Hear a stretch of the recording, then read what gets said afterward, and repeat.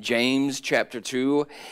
Uh, we're going to continue in our series in this amazing book that is often called the Proverbs of the New Testament. And so find James chapter 2. I think we might also end up in 1 Corinthians 1. So if you want to put a bookmark there in 1 Corinthians 1, that way uh, when I when I call out 1 Corinthians 1 later on, you can just be right there. It won't take any time at all. You'll be prepared in advance. All right. All right, James chapter 2. Uh, the title of the message this morning is this Incompatible Interactions. I'm quite proud of my, my title and my title graphic. Uh, but really, uh, the, the most important thing is the truth that comes from this. Incompatible. Incompatible. Let me give you the definition of incompatible. Two things that are unable to exist together harmoniously. Incompatible. As the title suggests, we're going to talk about two different interactions, two different things that are compatible incompatible with each other. They can't thrive harmoniously one with another. So as I thought about this, it reminded me of a few other incompatible interactions that I've experienced in life. Would you like to hear about them? Mm-hmm. One time I went to the movie theater. I was really excited about watching a movie. Everyone had been raving about it. But there was someone else there in the theater who was also excited to see the movie. It was a mom with her cute little baby. Did y'all connect the dots yet? She was so excited to watch the movie that she decided to stay in there as cute little baby cried the whole service uh, a movie. Precious little girl. You've been there before. If you've been there before, is that a is that a blessing to you? Did you enjoy that movie? You walk away not remembering the greatness of the movie, but remember I mean, moms are great and little babies are great. But moms and little babies in a movie theater are incompatible. Come on, that was good right there. Okay, you didn't like that one, so I came with the second one here. You just boarded the airplane, hadn't taken off yet. We can probably think of a variety of incompatible interactions here, right? you just boarded the airplane, you're waiting for the crew to, you know, finalize everything, and they're getting ready to take off, and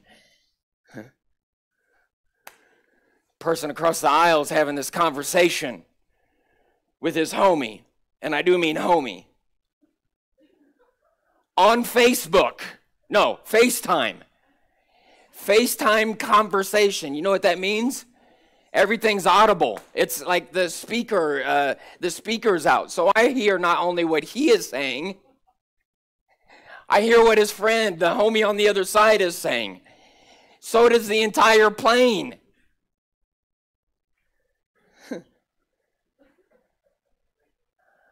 I don't need to hear your conversation. Am I being too harsh this morning? Am I the only one that feels this way? Y'all are staring at me like, man, you're a jerk. FaceTime conversations on a full airplane, incompatible interactions. I came ready for one more. This one's personal to me. You're out hiking or mountain biking a trail, it's beautiful mountains, cool breeze, sun is setting, those pink clouds in the sky, and and uh, birds chirping, and uh, the uh, the uh, um, desert uh, cactus are out there, and just just enjoying nature. You've escaped the chaos of civilization. Someone is also hiking and has decided to bring the chaos of civilization with them. that everyone came out to try to escape by having his little mini Bluetooth boombox with its beats in his backpack blaring that everyone else in the trail can hear. I feel like I'm not being very Christian right now. I'm just thinking, I came out here to escape the chaos. Why are you bringing the chaos? Hiking and the homie with the boombox, incompatible interactions. I'm feeling a little guilty right now, like I need to repent for even mentioning these things. All three of these examples have two different interactions that, that exist together but not harmoniously. In James chapter 2, God's going to address another incompatible interaction, but this one is for anyone who claims to be a follower of Jesus Christ. With that in mind, I want you to stand with me. James 2, and let's read the first nine verses. James 2, starting in verse number 1. My brethren, so he's talking to believers here. Have not the faith of the Lord Jesus Christ, the Lord of glory, with respect of persons. Now he's going to illustrate what this means or what this would look like. For if there come unto your assembly a man with a gold ring in goodly apparel, and there come in also a poor man with vile raiment, and ye have respect or, or favoritism to him that weareth the gay clothing, the nice clothing, and say unto him, Sit thou here in a good place. And then you say to the poor, um, we got a spot back there in a corner for you. Stand, stand back here and uh, or under my footstool. Verse 4. Are ye not then partial in yourselves and are become judges of what kind of thoughts? Evil thoughts. Verse, uh, verse 5. Hearken, my beloved brethren. Hath not God chosen the poor of this world rich in faith and heirs of the kingdom which he hath promised to them that love him? But ye have despised the poor. Do not rich men oppress you? What's the answer to that? Yes. Do not rich men oppress you and draw you before the judgment seats? Do they not blaspheme that worthy name by which ye are called? If ye fulfill the royal law according to the scriptures, thou shalt love thy neighbor as thyself, ye do well. But if ye have respect of persons, ye commit, what's that next word? And are convinced of the law as transgressors. Incompatible interactions. Let me clarify before I pray here in just a minute that having money, having possessions is not bad. It can be bad, it's not bad if done the right way. So James is not saying, man, if you're rich, you're a bad person. That's not what he's saying at all, at all. He's talking about incompatible interactions. My great God, I pray that you'd take the truth, may it may it have a free course in our hearts in our lives this morning. We'll praise you for what you'll do. We ask it in Christ's name. Everyone said. God bless you. you may be seated. So we've started chapter 2 here, we've left chapter 1, but James hasn't changed his focus from where he ended in chapter number 1. Uh, let me show you. Go back to verse 26, would you please? Verse 26, it says, If any man among you seem to be religious, if there's anyone that claims to have a spiritual walk, but he doesn't bridle his tongue, this man deceives his own heart, and the man's religion is what? So James is focusing on what authentic spirituality looks like in our lives from a practical position. And what he's saying here is when there's an authentic, authentic spiritual walk, Christ has taken over the commands of the tongue. There's a controlled conversation. Amen and amen. And, and then he hits another angle of authentic spirituality in verse 27. We've preached this already, but look at it, verse 27. Pure religion Right? So, an authentic spiritual walk, pure religion, and undefiled before God and the Father is this to visit the fatherless and the widows in their affliction and to keep himself unspotted from the world. The world shouldn't show up in your life. The way the world acts, the way the world thinks, the way the world conducts itself, the values of the world, it shouldn't show up in your life if you have an authentic walk with God. And you should minister to the most vulnerable of society, widows and the fatherless. That's what authentic spirituality looks like.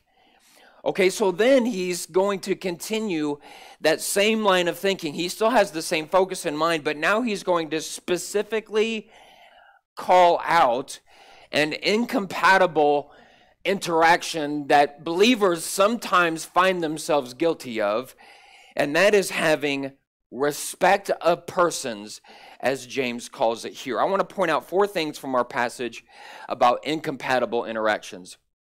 Number one, I want you to see the command against incompatible interactions. Go back to verse number one. Look at it again, would you please? My brethren, have not the faith of our Lord uh, Jesus Christ. Okay, so look up here. That's interaction number one. A person who claims to have faith in Jesus Christ. I have a walk with Jesus Christ. I believe in Jesus Christ. Interaction number one. Okay, what's the second interaction? the last part of verse number one, with respect to persons. And so, James is making it crystal clear that having a respect of persons, having favoritism towards someone who claims, uh, and, and you do that while claiming to be a believer of Jesus Christ, those, those two things don't go together harmoniously.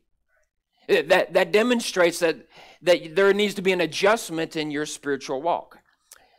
Well, what does respect of persons mean? We don't use that term. That's not in our vernacular today. What does that mean? It's interesting. The phrase in English, respect of persons, three words, is actually one big long Greek word. I didn't want to try to say it, so I just show it to you. Pastor Carr, can you say that word? Go ahead and try it. So go ahead. Some of you want to. You want to, don't you? Don't you?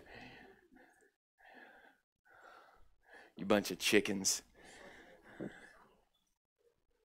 Guess what? I came prepared. I'll, I'll let you listen to it. Play, play the sound. Prospologia. Yeah, that. Prospologia. Prospologia. Okay, you ready? Say it. Pros. Hey, good job. You know Greek. That's awesome. Love it. Okay, big fancy word. Here's, word. Here's what it simply means to, to have favoritism or to show par, partiality towards someone for improper reasons. Now, it's okay to show favoritism or uh, to, to hold someone in high regard for the right reasons, because of character, because of virtue. But for improper reasons, that's what James is talking about. More specifically, in our context, it's speaking about, now I want you to get this, about making judgments about other people based primarily on appearances, by what you see, based on external or superficial factors. It means that you make decisions about how you will interact with someone based upon what you can see based upon external things rather than attempting to get to know that person and understand who they really are, to understand their character, their true merits, their abilities. That's what this is talking about. So James provides an example of what he's talking about, and we read about it here. He talks about uh, a church service. He says, If there come upon uh, your assembly a man with a gold ring and goodly apparel, and then a poor man with vile raiment. And so he's talking about an assembly, a, a church service. And you have two different people that walk in, and and and so he draws us attention to these two people and, and then he draws our attention to how these two people are treated differently based solely on how they look. The man with nice clothes and uh, other external characteristics, it, it exhibits that this man has money, that this man's been successful to some degree, or he's faking it. Sometimes that can happen too. You're not, you're really, you're not really successful, but you, you, you love You love superficial things, so you make yourself look more successful than what you really are. And, and so this person has nice clothes, and, and it's made obvious that this person is wealthy, and we can look at someone like that and, and we can think, well, maybe this person can help me more than that person over there that doesn't look like they have a lot of money, that doesn't look like they have a lot of success. The other person doesn't come from the same financial resources. That's obvious also by his external apparel. The interaction with the rich man is such that it demonstrates oh, we value you because you look nice, because you look like you have money, because you look like you're successful. We value, ooh, come sit right up here in the VIP section. I watched a documentary on Hillsong. And specifically, it was the Hillsong in New York City with uh, Pastor Carl Lentz. And, uh, you know, he had a Bieber. Is it, uh, is it Justin Bieber? Was like one of the big dogs that would come to his church along with uh, uh, other big dog celebrities. And he had a VIP section that uh, only if you were extremely successful you know, you can't just sit in this se- section unless you're successful. So, so that happens. But any church can be guilty of this. Any church. Conservative churches, liberal churches, and everything in between. We make evaluations when someone walks in the door based on how they're dressed and how they look. I'm like, man, you got it together. I want to make sure I treat you right. You're someone I'd like to get to know. James is talking about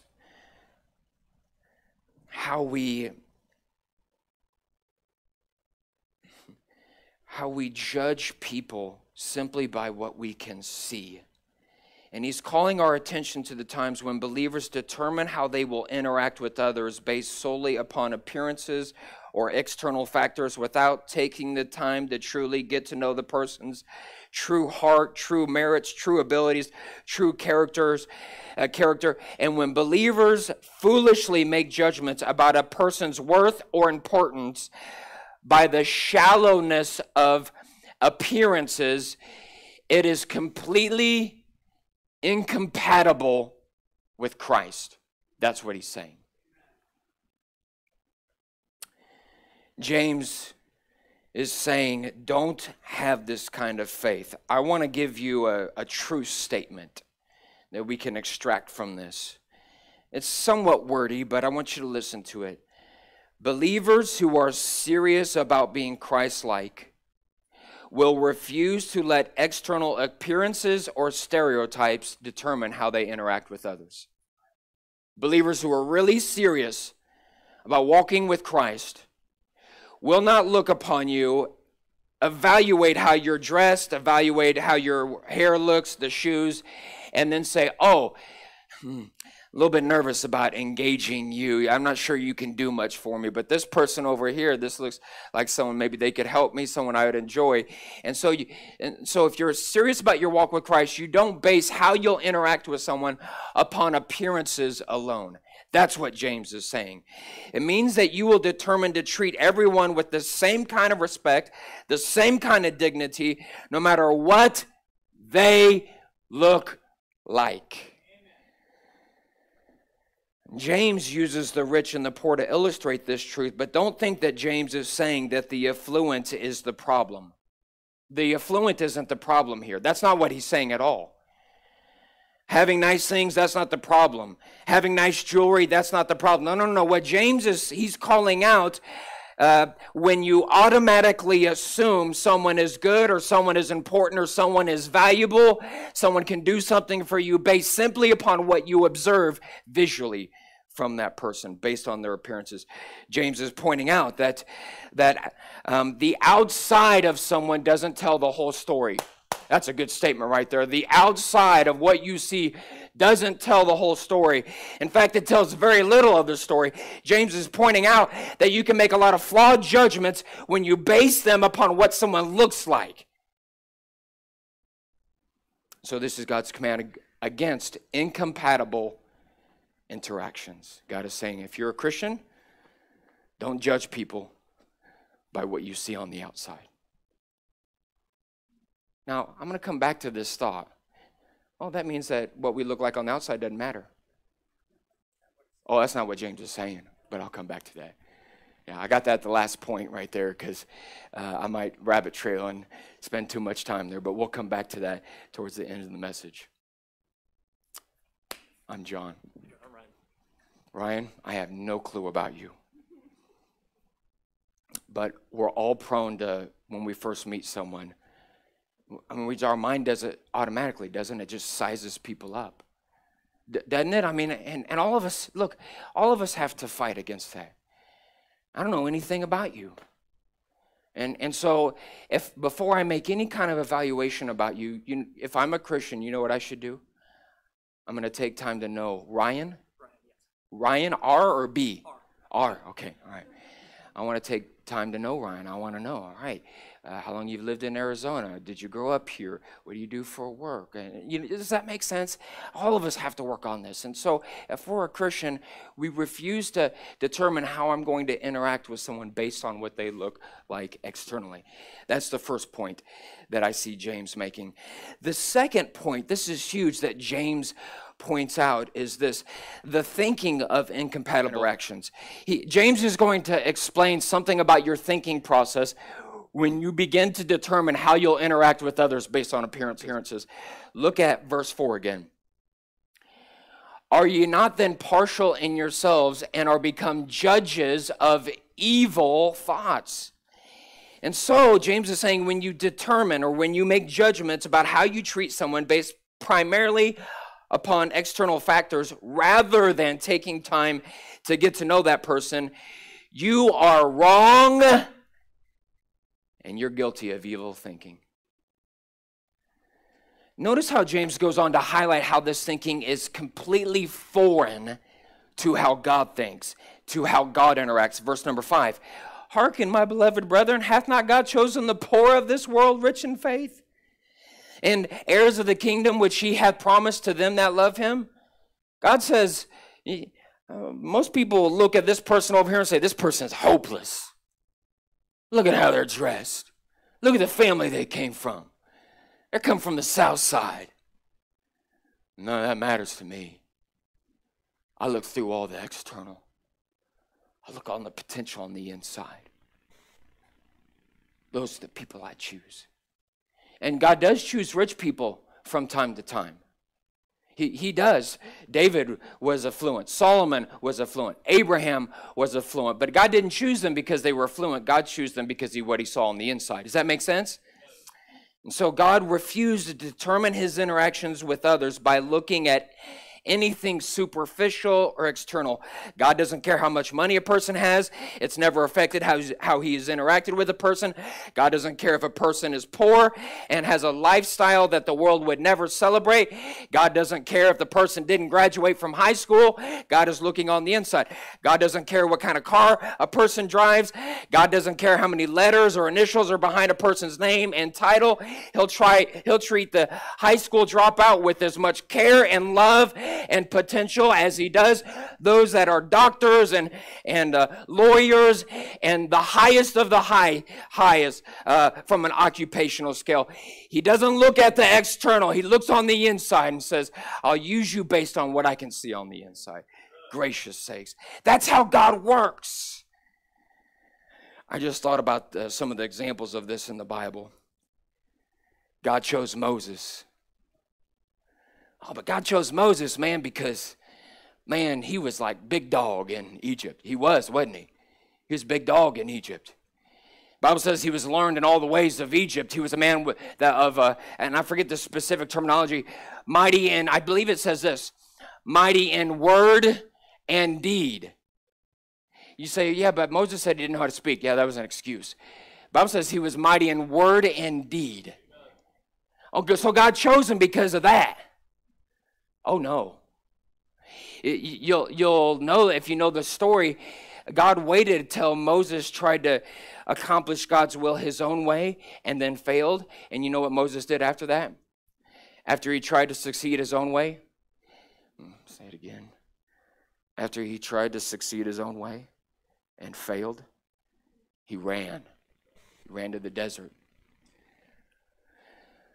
It's interesting because the Egyptians view shepherds as an abomination. Guess what Moses ended up being? A shepherd for his father in law in a place like Liberal, Kansas, places that nobody's ever heard of before. Backside of nowhere. God didn't care that all his uh, people that knew him before, if they were to look at him now as a shepherd and say, What a disgusting way of life, God didn't care about any of that. He said, I see potential in this man. I'm going to use him. God used Moses. How about another story? Can I just tell you another story? oh, what's next here? Oh, yeah. God interacted with a very sinful woman in Jericho who just needed the right opportunity to respond to God. She just needed the right opportunity. We don't know anything about her background. And God looked beyond her harlot attire. God looked beyond the reputation and saw the potential of when He would touch her heart and God determined to interact with her not based on how she looked on the outside, but on the potential that was on the inside. Hallelujah. And God used her and her lineage to bring forth the Messiah. Wow. Some of you didn't know that, did you? That's our God. If you just let Him, just let loose of the reins of your life and surrender just like she did. God to use you in great ways. Can I give you another example? Y'all are listening so well tonight to this morning. God chose a teenage boy. He was the youngest of all his brothers.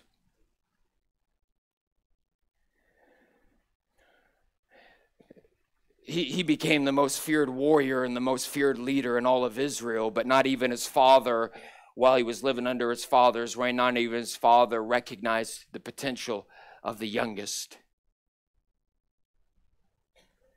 But God looked at it. He said, I see something down in there beyond the superficial. I see beyond what everyone else sees or what everyone else doesn't see. And I'm going to use this man in the, one of the greatest ways that I've ever used a man before to be the greatest leader and warrior in Israel who ended up writing the book of Psalms, one of the greatest books of praise of God that any man has ever written. Hallelujah, hallelujah. Can I give you one more? Jesus chose an immoral woman that he met at a well started a conversation. He initiated the conversation with her. She lived in Samaria. God chose this immoral woman to start a revival in Samaria. when the disciples showed up and they saw Jesus talking to this woman, they knew immediately that this woman was not of good virtue. And they didn't say it out loud, just like you and I don't say often what we're thinking out loud. Praise the Lord for that. But Jesus could read their thoughts, and, and they were thinking, why would you ever talk to someone as low class as her? And yet, this is who God used to start a revival in Samaria. Why? Because God doesn't look on the outside, He looks beyond all of that, sees the potential on the inside. And when you begin to determine how you'll interact with people based on anything visual, based on externals, based on appearances, based on how much money they have, based on how successful they appear to be, you are not only evil, you are not thinking like God. And being a Christian is about being like God. And so it's uh, the thinking of incompatible interactions, gracious sakes. Let me just show this to you. I, we have time to do this. Don't lose your place in James. I told you to bookmark First Corinthians, didn't I? Did you do that? Were you obedient? First Corinthians 1, look at verse 26. 1 Corinthians 1, verse 26. For you see your calling, brethren, how that not many wise men after the flesh, not many mighty, Not many noble are called. But God hath chosen the foolish things of the world to confound the wise. God hath chosen the weak things of the world to confound the things which are mighty, and base things of the world and things which are despised hath God chosen. The world would look at the things that God uses, and he would, and, and the world says, that'll never work. That is bogus. That is weak. Why would you ever do anything like that? And God says, Those are the things that I use to change and transform a life, to raise a person up, to raise a man up, to raise a woman up, to raise a mother up, a father up, children up, to use them in ways to impact the world in mighty ways. Those are the kind of people that I use. Gracious sakes. Brother Carr, gracious sakes. I can't believe I'm here in Scottsdale. If you knew how I grew up, I mean, it's not like we were redneck. I just my my etiquette and skills. I'm still working on that, right? still working on that, but I just remember my teenage years walking around, and I'm sorry to admit this, but I just, this is my way of life. Walk around with a little wife beater shirt and just, I didn't go to church and I just was so rough around the edges. I'm still rough, but I, I just can't believe I ended up in Scottsdale. I didn't grow up around the affluent. And God chose me to come here. Not because I'm qualified, but because He's great and He can take all the junk that is, He can see through all the outward roughness and He can say, I can still use you if you let me. God can do the same for you. Gracious sakes. Just thinking of the incompatible. Let me give you the third thing the association of incompatible interactions. The association so James already made it clear that judging people by outward external factors is totally incompatible with Christ. But now James is going to, going to tell us that not only is this thinking not associated with Christ, it's incompatible with Christ. Not only is it not associated with Christ, the bigger problem is who it is associated with.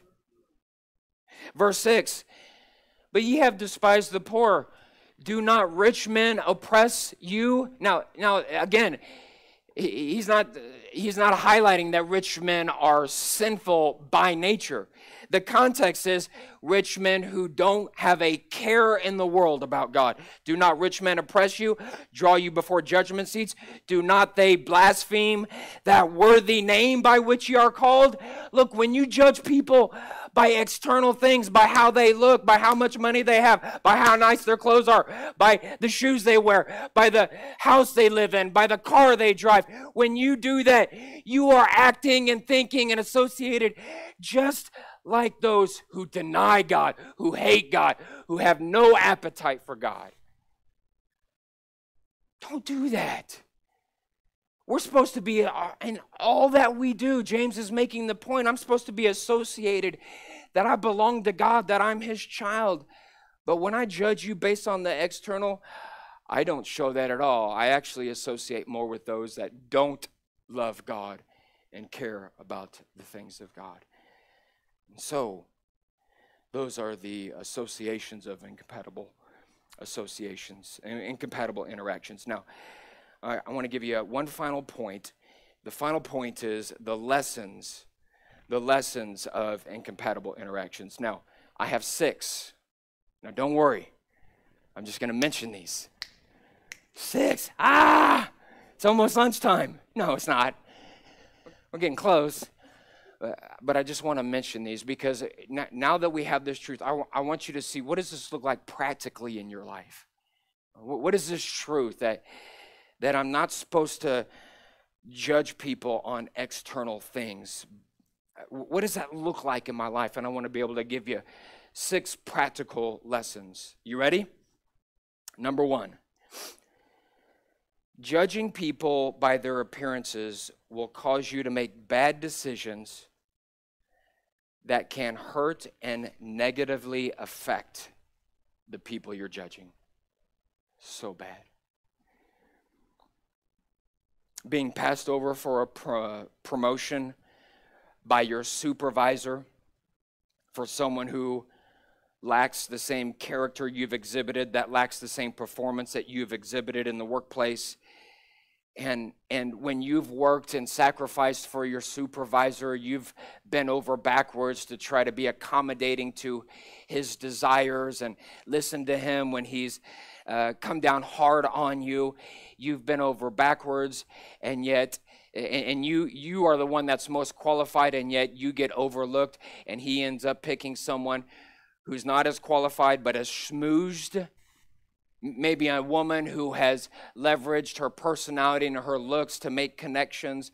I'm just saying that that can be that can be so deeply frustrating when that happens, doesn't it? And we ought not to be, as Christians, we ought not to uh, be that source of pain and and, uh, and negativity towards someone. It can be very discouraging. Sometimes parents can do this with their kids they show favoritism based on outward abilities, based on appearances. It's in the Bible, there's all kinds of examples in the Bible. That, that carries the potential of permanently scarring children and hindering them in ways that only God can overcome in supernatural fashion as an adult. Amen and amen. When one of your closest friends begins to set you aside in order to spend time with another person who has more to offer, that can be really painful. And so, practically speaking, when, when you judge people by their appearances, it'll cause you to make bad decisions that hurts uh, and negatively affects that person that you're judging. Let me give you the second lesson. Now, this one is important. I want you to listen to this. Judging people by their appearance can cause you to make bad decisions that hurts you and negatively affects you.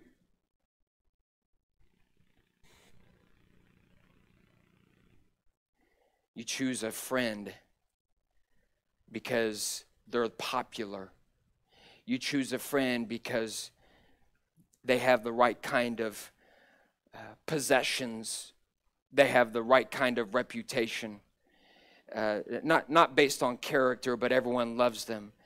Maybe you choose a business partner because of superficial things, or you choose a sports team for your kids, or you make any other kind of life decision and you base it only upon the external factors or superficial factors what can happen is that you, you are drawn to something because it looks nice on the outside, but what it looks like on the outside is actually disguising what it looks like on the inside. And so you're moving forward in this decision, whether it's with a job or a potential job, because on the outside it looks good, or a friendship uh, for you and it looks good, a relationship, it looks good on the outside for you. I'm saying what's on the outside can disguise a, a lot of wickedness and lacking character on the inside. And so, if you're going to only make a judgment upon external things, you can hurt yourself by um, uh, making friends or making relationships that you'll later regret after the veneer, after you see through the veneer of the outside, and you're like, oh my goodness. But by that time, you're already stuck. You can mess up your kids. You mess up your kids by a, choosing a sports team or choosing whatever, whatever kind of program because it looks good on the outside because everyone thinks, oh, this is great. And you're just making external judgments. You have no idea what's on the inside. You got to have God to give you discernment to see what's on the inside. And you send your kids down that group or down that school or down whatever. And, and on the outside, it looks great, but on the, uh, on the inside, man, there's depravity and wickedness. I heard from someone in this room, I heard about a choice of school that now as an adult, but as a kid, their, their parents set for them. And on the outside, man, it looks so good. Nice building, nice education, uh, well, uh, uh, uh teachers with, with credentials, but all kinds of depravity under the surface. all kinds of depravity. They said it negatively impacted me. You can make decisions for your kids based on external things, and it can come back to hurt you. Amen and amen. That's lesson number two. Lesson number three. Judging a person by their appearance will cause you not to witness to others like you should. You know, you're supposed to be a witness if you're a Christian. You're supposed to tell as many people as you can about Jesus. I imagine that's why you showed up here. She invited you to church, I would imagine. Amen and amen. We're supposed to invite people and tell people about Jesus. And there's people that your first assessment of them would be something like this they'll never listen. Or uh, they look scary. It makes me think of the time I was in Walmart and I, I was, uh, I think, in the fishing, like the fishing or sporting goods section of Walmart, and this, this big old, big old dude had tats all over him, and uh, you know, it just kind of looked like a Harley Davidson kind of guy, you know, just big and bulky. And I felt like the Lord said, I want you to talk to that guy. And I was like, no way. He's not, he's, he's to be like, bing. Thankfully, the Lord, you know, there's been times when I, I haven't listened to the Lord and I just hold to that and I disobey. But thankfully, this time I, I, the Lord convinced me, and so I went up to him, and I was so shocked because when I engaged him, he was like the nicest guy I had ever met. You know what my problem was? Incompatible interactions, judged by the outside. You won't be a witness like you should if you judge people on the outside. Number four, oh my goodness, number four. Oh my goodness, number four. Oh my goodness. You ready for this? Now, um, Miss Betty, this one probably won't be for you. Okay? And Miss Rosemary, probably not for you. Social media will silently train you to judge people by appearances rather than content. Silently train you. You have no idea about that person's life, only what they put on the outside. You have no idea about the character, you know have no idea about their virtue. Men, you have no idea about that woman that you shouldn't be looking at on social media. You're just making external judgments. She will ruin your life. Therefore, therefore, you should only use social media with extreme caution and the strictest of limitations. A hundred percent amen and amen. And it's not even Christians who believe that. You, ought to hear what the makers of social media say about it. They say, we, We've designed it to manipulate. You will not outthink it, it will manipulate you. They're saying that, not me. You should hear what the limitations they have for their kids on social media. Gracious sakes. Social media trains you to judge people, silently trains you to judge people on the outside. Amen and amen. Practically. Isn't that, and so practical, isn't it? Number five. I'm going to try to hurry on this. James is not teaching that external appearances or external factors are not important. I just he says don't judge someone on external things. Don't judge them based on how they look. That does not mean that what we wear and how we look on the outside is not important. That's not what that means. The liberal church, that's all grace, says that. That's bogus. That's bogus. when God set up the tabernacle and the temple, he said, I want my priest to wear what kind of garments? Holy, sacred garments. Apparently, that was important. What they look like on the outside was important to God. God says in the New Testament, women, I want you to be dressed with modest apparel. Apparently, it's important to God. The external things is important to God. You just have to balance that. I won't judge you based on what I see on the outside, but that doesn't mean what we wear on the outside isn't important. Does that make sense? Last thing is this. Last thing is this.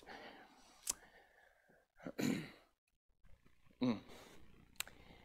In order to be a strong church that pleases God, we don't need to share a lot of common interests with each other. But we do need to share a common interest with Christ. I'm going to say it again. I'm going to say it again. In order to be a strong church that pleases God, we don't need to share a lot of common interests with each other, but we do need to share a common interest in Christ.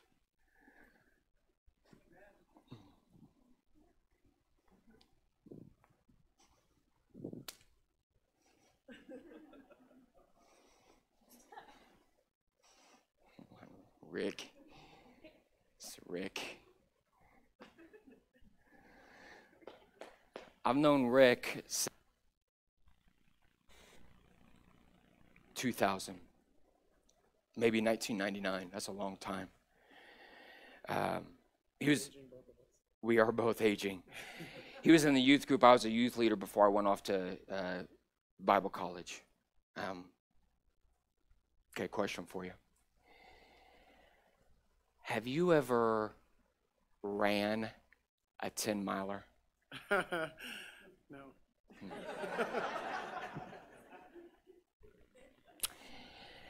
Have you ever shredded down some of those mountain bike trails on Mount Lemmon in Tucson on a mountain bike?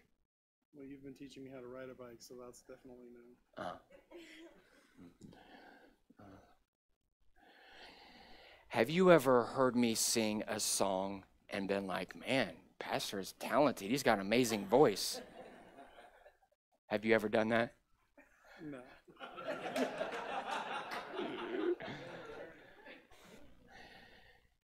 There's so many differences here. That doesn't keep us from being close. See, what Satan wants us to think is, oh, all the people that I worship with, they're so different. But James uses the look, how much more different can you get than the affluent in the same church as the poor? They have different apparel, they have different likes, they have different hygiene. They have different everything. And yet they were in the same church, and God said, You can still thrive together because sharing common interests is not what you need to thrive together, but what you will need is a common interest in reflecting Christ. And I love Rick, and he's a friend to me. And he tells me he loves me. And it's not because we have all these common interests in life, but we do share a common passion to serve Christ. And that overcomes all the external differences that we have. Hallelujah. Hallelujah. You can be seated. Thank you. Naya, if Naya is in here, you can come to the piano. I'll leave you with uh, the, the true statement that I gave you. And I'm not sure how the Lord maybe has spoken to your heart, maybe just a determination Look, eh, we know we shouldn't judge people based on external things, but it's so hard. Sometimes it's so hard. So let me leave you with this statement, and then I'm going to let you respond to the Lord as He has dealt with your heart. Believers who are serious about being Christ like will refuse to let external experience, uh, appearances or stereotypes determine how they interact with others. We don't let appearances determine how we interact with people. I will spend time getting to know you, getting to know your character, loving you as I love myself, because that's what Christ did to us. My great God, I come before you today.